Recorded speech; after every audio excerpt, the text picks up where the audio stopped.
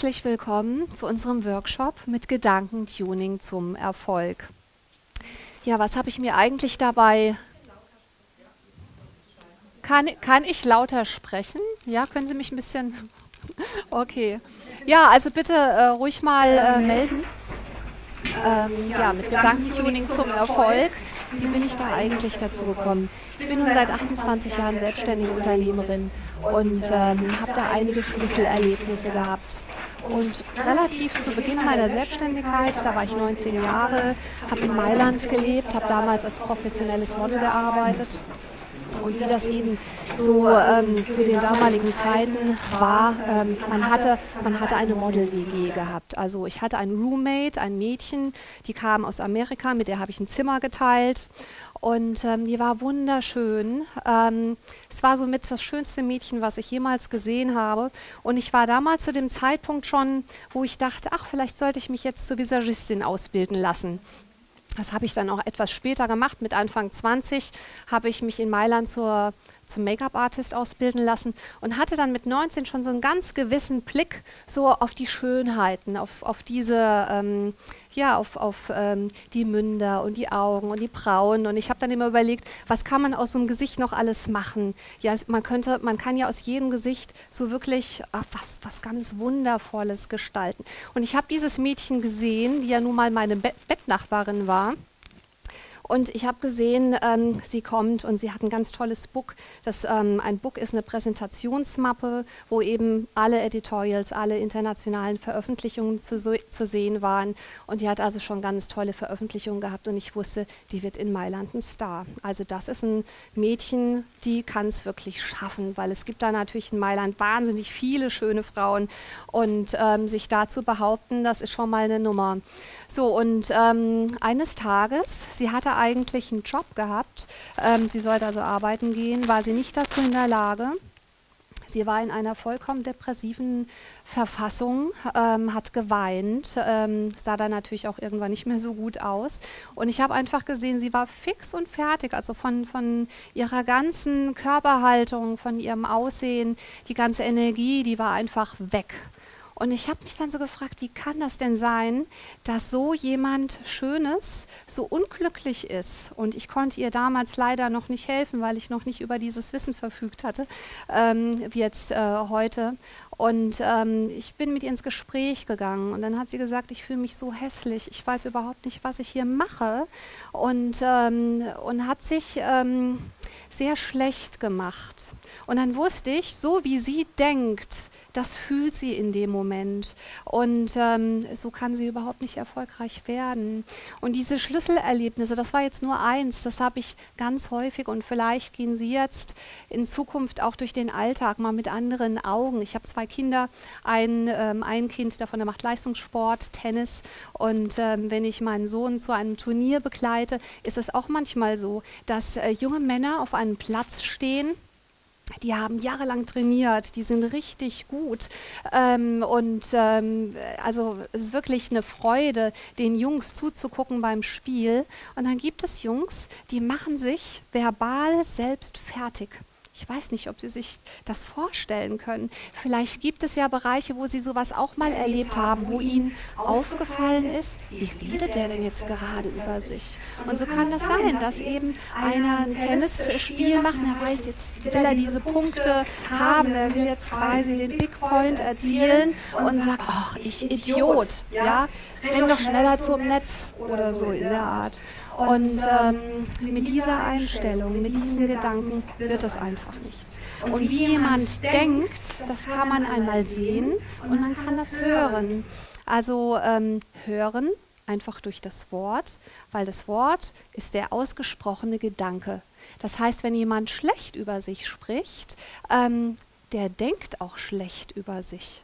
Und wer schlecht über sich selbst denkt, ja, wie soll derjenige wirklich erfolgreich werden? Denn er glaubt ja vermutlich gar nicht an sich. Und wenn er nicht an sich glaubt oder sie glaubt nicht an sich, wie sollen denn andere dann an sie glauben? Das kann ja so überhaupt nicht funktionieren. Also dieses Thema begleitet mich schon sehr, sehr, sehr lange. Und so bin ich eben zu dem Thema des Workshops gekommen mit Gedankentuning zum Erfolg. Eigentlich ist es gar kein Workshop, es ist ein Tagesseminar. Und ich versuche jetzt das, was ich in einem Tag mache, so ein bisschen ähm, ja, zu komprimieren, dass Sie einfach mal so, ein Aus, so einen kleinen so einen Eindruck und so einen Ausflug in die Sache bekommen. Tuning, was bedeutet das eigentlich? Also Tuning kommt von, ähm, von Tune, to tune, das ist Englisch und äh, bedeutet eigentlich etwas einzustellen oder zu stimulieren, zu harmonisieren wie ein Musikinstrument. Das muss ja auch immer wieder eingestimmt werden. Und der Tuner ist ein Empfangsteil, äh, wie in jedem Radio oder auch in einem Fernsehgerät. Ne? Da gibt es also ähm, ein Tuner, dieser ja, Empfangsteil. Und ähm, ich dachte dann irgendwann, es wäre doch total toll, wenn wir uns darauf einschießen und tunen könnten, also im Grunde unseren Verstand tunen könnten zum Erfolg. Das ist die Idee. Ja, aber was ist denn Erfolg überhaupt? Und jetzt würde mich das total interessieren. Ähm, wer hat denn so ein Gefühl oder so ganz spontan, was ist denn Erfolg? Für Sie jetzt beispielsweise. Wenn ich ein Ziel gesetzt habe und das Ziel auch erreicht habe. Genau, da waren sie erfolgreich. Was ist noch Erfolg? Jawohl, genau, auch ein Erfolg. Ja. Noch jemand? Zufriedenheit, ja, auch das ist Erfolg. Ja, Glück. Ja, Und da sein zu wollen, wo man sein sehr gut. Also ich finde das ganz spannend, weil ich glaube, davon bin ich überzeugt, Erfolg ist für jeden etwas anderes, je nachdem, in welcher Situation wir uns gerade befinden und äh, welche Ziele wir uns vielleicht auch gerade gesteckt haben im Moment. Und ähm, ich habe Ihnen jetzt mal einen Lebensrat mitgebracht. Das könnte man jetzt noch ein bisschen stärker aufteilen. Das ist jetzt ein Lebensrat, ähm, das beinhaltet die Felder, für die Bereiche, die uns wirklich vereinnahmen. Das heißt, einmal haben wir den Beruf, unser Job, unsere Karriere, dann haben wir den Bereich Partnerschaft und Beziehungen, Gesundheit und Fitness und unseren Selbstausdruck. Selbstausdruck ist das, womit wir uns wirklich identifizieren. Ähm, Selbstausdruck, das hat auch was mit Wachstum zu tun, mit Persönlichkeitsentwicklung. Und ähm, ich habe dann irgendwann mal überlegt, eigentlich kann man das auch messen. Also so eine kleine, so eine Art, so eine, so eine Bestandsaufnahme. Wo stehe ich denn im Moment? Und ähm, es kann ja jeder mal ganz kurz in sich gehen und die Augen schließen, weil wir sind ja bei einem Workshop. Ne? Workshop heißt ja nicht, einer arbeitet und die anderen shoppen, konsumieren, sondern, sondern es geht ja darum, dass wir so ein bisschen was machen. Ne? Also, ähm, ich würde mich freuen, wenn Sie sich einfach darauf einlassen würden, dass die Füße mal kurz Bodenberührung haben, dass Sie die Augen mal kurz schließen, mal tief durchatmen in den Bauch. Genau. Und dann gehen Sie mal ganz kurz in sich und wenn Sie überlegen, das Thema Beruf, Job, Karriere auf einer Skala von 1 bis 10. 10 heißt 100 Prozent, alles ist im grünen Bereich, alles ist super, alles ist top. Und 1 bedeutet eigentlich, ja, da ist noch ein bisschen ähm, was machbar. Wo stehen Sie im Moment auf einer Skala von 1 bis 10 in diesem Feld Beruf und Karriere?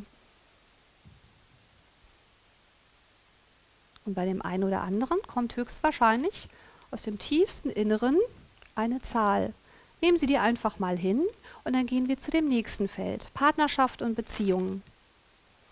Nehmen Sie noch mal einen tiefen Atemzug. Wo stehen Sie heute im Bereich Partnerschaft und Beziehungen auf einer Skala von 1 bis 10? Darf da noch ein bisschen daran gearbeitet werden oder ist alles im grünen Bereich? Und dann das nächste Feld, Gesundheit und Fitness. Auf einer Skala von 1 bis 10. Wo befinden Sie sich persönlich?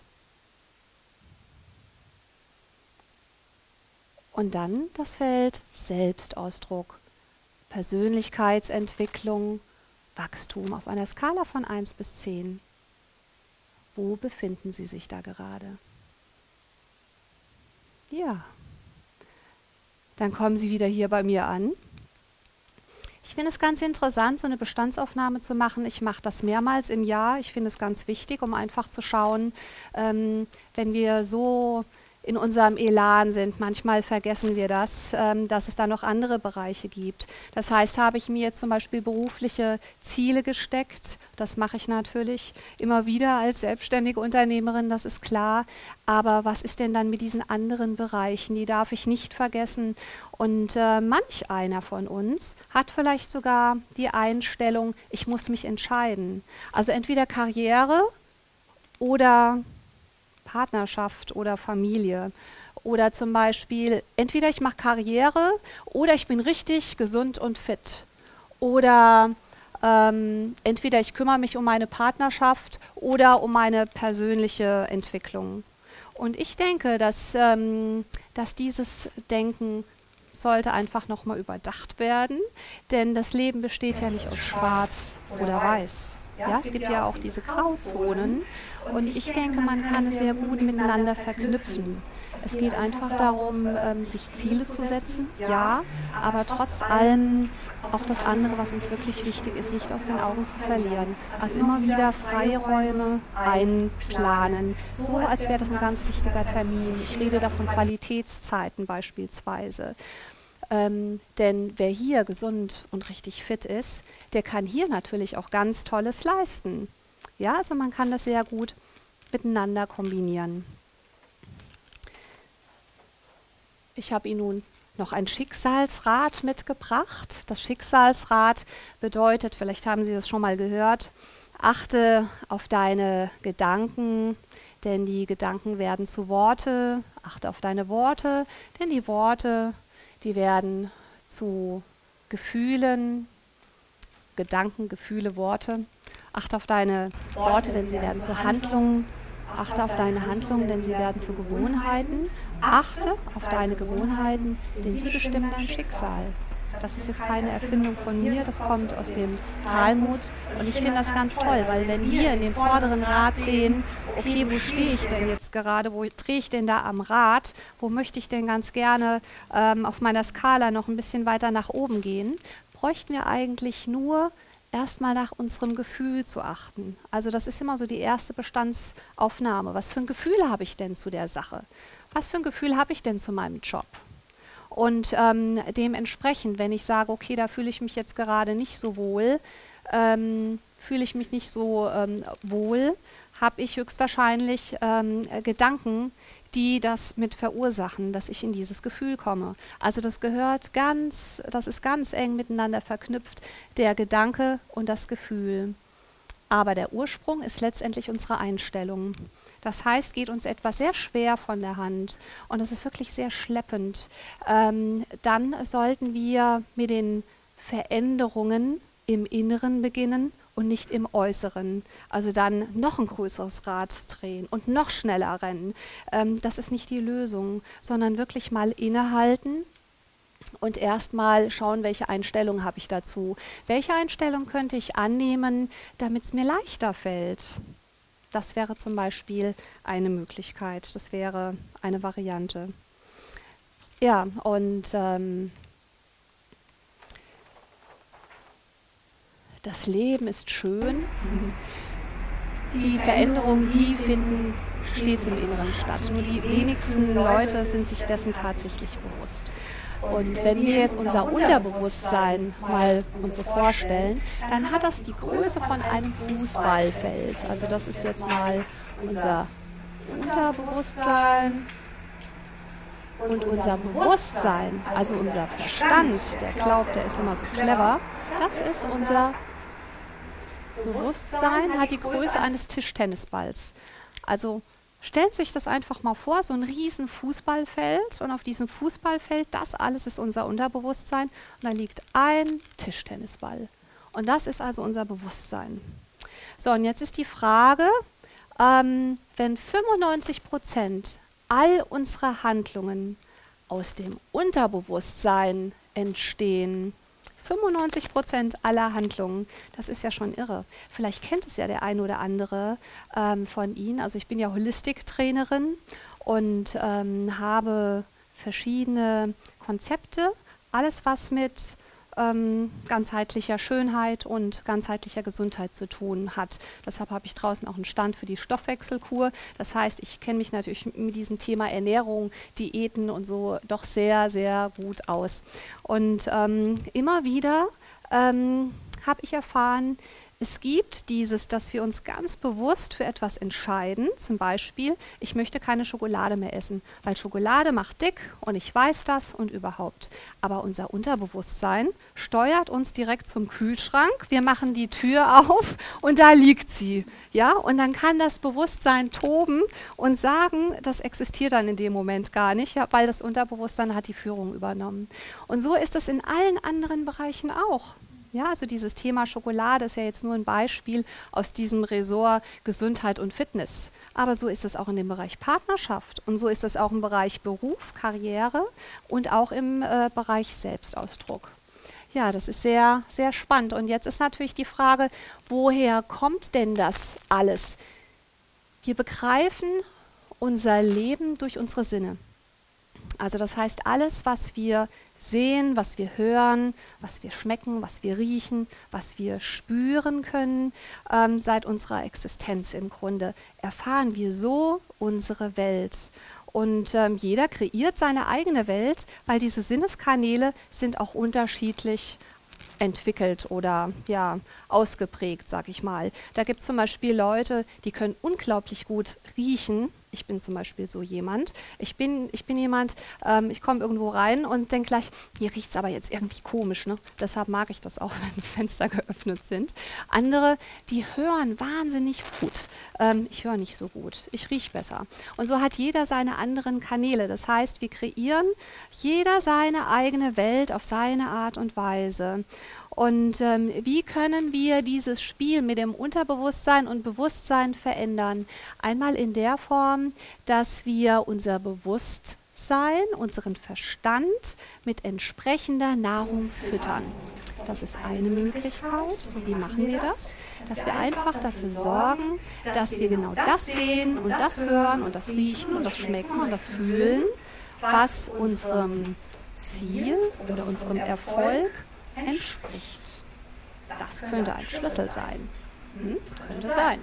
Also das heißt, ich habe einen Zugang auch auf mein Unterbewusstsein, zum Beispiel durch verschiedene Techniken, ähm, Hypnose beispielsweise. Also bei meinen Tagesseminaren dann ähm, mache ich immer wieder mal eine Trance. Ich weiß, es gibt Leute, die kriegen da furchtbar Angst heute, können sich absolut entspannen, es passiert ihnen nichts. Aber Ängste haben wir ja meistens dann, wenn uns Wissen fehlt. Also bei einer Hypnose ist äh, niemand, wird niemand manipuliert oder hilflos ausgeliefert oder so. Wir sind immer noch ganz, ganz klar im Kopf. Ähm, es gibt eine Sofortmaßnahme, die immer hilft eine Sofortmaßnahme, wo ich total schnell ähm, in die Entspannung und zur Ruhe kommen kann, auch wenn es im Außen ganz wild und stressig ist. Hat jemand eine Idee, was das sein könnte? Über die Atmung. Genau. Und ich habe so überlegt, heute war es ja vielleicht schon für den einen oder anderen stressig, hierher zu kommen und man rennt schon ein bisschen hin und her und man redet ja ganz viel. Und ich möchte ganz gerne Sie einladen, ähm, ja, eine kleine, eine kleine Atemrunde einfach mitzumachen.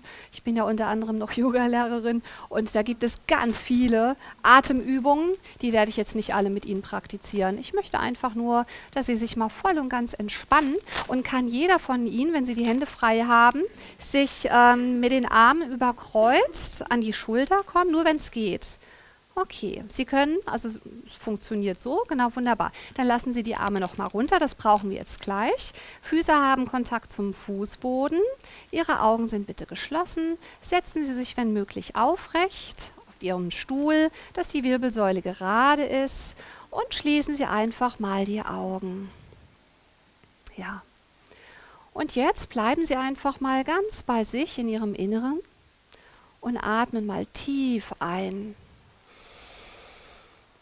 Ja, und tief wieder ausatmen.